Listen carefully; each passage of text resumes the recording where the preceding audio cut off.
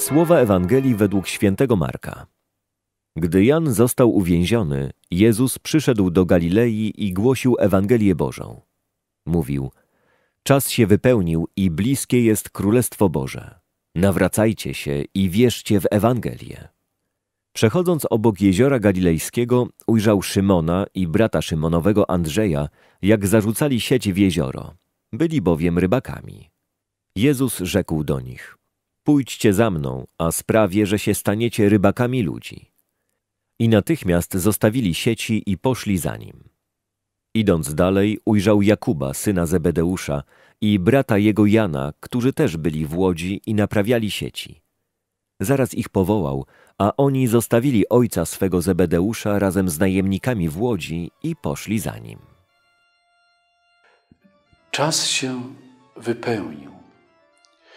Zamierzone przez Boga wydarzenia spełniają się. Kończy się czas panowania ciemności, a to oznacza czas panowania złego ducha, czas niewoli grzechu.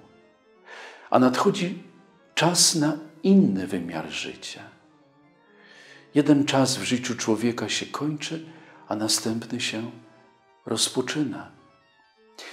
I ta wartość czasu zależy od tego, czym go wypełniamy, czyli o czym myślimy, jakie rozmowy prowadzimy, co wybieramy, a czego nie chcemy, dokąd dążymy, w jakich relacjach jesteśmy i co z tych relacji wynika.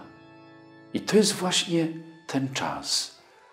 Wartość Jego zależy od mądrego zagospodarowania, od mądrych decyzji. Nadejście Królestwa Bożego wskazuje na konieczność przeżywania życia przez pryzmat dwóch wartości: nawracania się i wiary w Ewangelię. Wiemy, że to nawracanie się nie jest aktem jednorazowym, ale codziennym sposobem życia. To jest sposób na życie. Jeśli chcesz żyć, powinieneś mieć na uwadze nieustannie Twoją wewnętrzną przemianę. Nawrócenie się to jest odwracanie się od ciemności w stronę światła, którym jest właśnie Chrystus.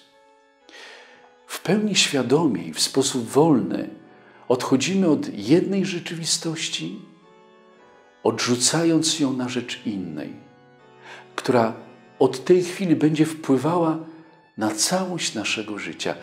Warto sobie postawić pytanie, co ma zasadniczy wpływ na moje życie? Jaka wartość? Która osoba? Jakie wydarzenia? Nawrócenie wymaga postawy odwrócenia się, odwrotu od czegoś, oddalenia, pozostawienia, odcięcia się w sposób stanowczy i prawdziwy. Nawrócenie nie może być pozorowane. Musi być radykalnym przede wszystkim zerwaniem z grzechem, ale to jest tylko część nawrócenia. Druga to wybór Chrystusa, wybór według Jego słowa, Jego woli. Znakiem przyjścia Królestwa Bożego było powołanie uczniów, ludzi całkowicie zwróconych w stronę Jezusa i wierzących w Jego Słowo. Zobaczmy, na czym polega nawrócenie. Zwrócenie się w stronę Jezusa i wierzących, ufających temu, co On mówi. Co oznaczają słowa, że apostołowie łowić będą ludzi? To oznacza będą tworzyć z nich wspólnotę osób świadomych tego, dlaczego żyją i dokąd zdążają. Zawsze musi być w nas ta głęboka świadomość celu, dokąd my zdążamy i czym się umacniamy na drodze do celu, do którego idziemy. Gdy szukamy odpowiedzi w Słowie Bożym, zgadzamy się, aby Bóg był naszym Bogiem, a wspólnota Kościoła naszą wspólnotą, wspólnotą braci i sióstr w Chrystusie.